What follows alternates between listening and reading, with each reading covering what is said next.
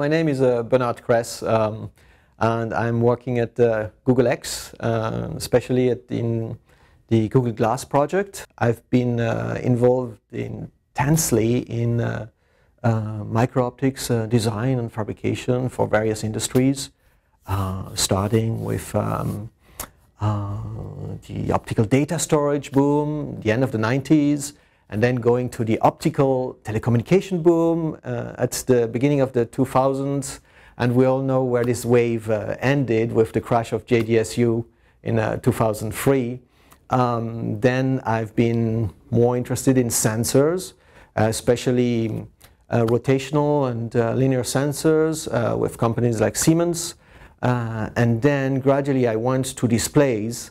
And here I am at Google working on Google Glass, um, one of the first uh, see-through wearable displays available uh, to the consumer market. There's many sections in head-mounted displays. Smart glasses, as we know it today with Google Glass and some other actors. There's the AR, augmented reality, uh, HMD market, uh, wider field of view, which existed before, especially in the defense um, uh, defense uh, domain for um, rotary wing aircrafts. Um, and this would be a helmet-mounted display uh, implementing augmented reality.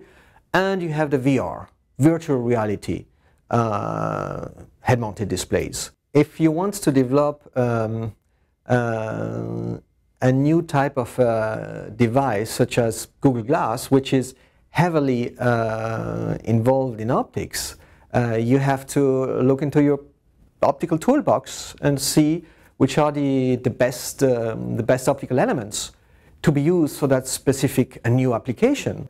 There are classical technologies as, um, as uh, the public version uh, of uh, Google Glass, but they're also much more intriguing uh, optical architectures uh, that are either based on uh, waveguide uh, technologies such as uh, the Lumus combiner, hmm, which is a cascaded mirror technology, the Sony smart glass, which is based on a waveguide holographic, volume holographic um, approach, also used by Konica uh, Minolta.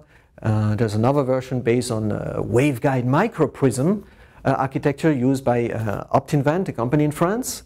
Um, they are very interesting uh, freeform, total internal reflection combiner architectures that are used by um, Imagine, Canon, um, uh, Verizon, uh, and Motorola. Uh, there are other techniques more, um, more traditional, which have been used uh, by the defense industry uh, since many years, these are the off-axis uh, combiners with a display on the side. Uh, one of the implementation would be uh, Laster, uh, also a French company.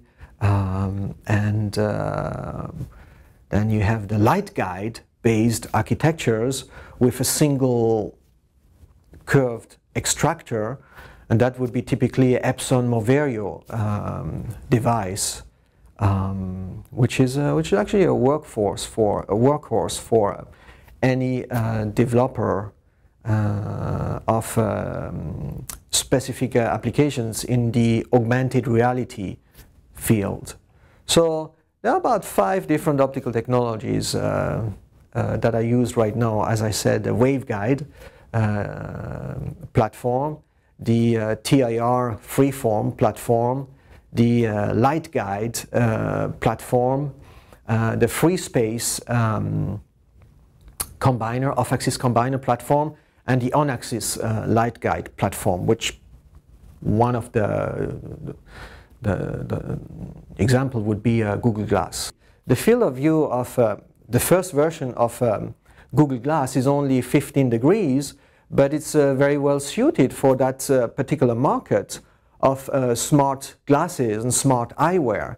Uh, the general augmented reality market requires a much larger field of view of about 30 to 40 degrees.